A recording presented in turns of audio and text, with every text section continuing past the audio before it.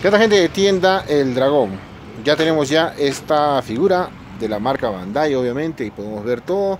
Este es un Gundam de Destiny, de Strike Freedown, el ZGMF-X20A. Esta figura es escala 1 en 100.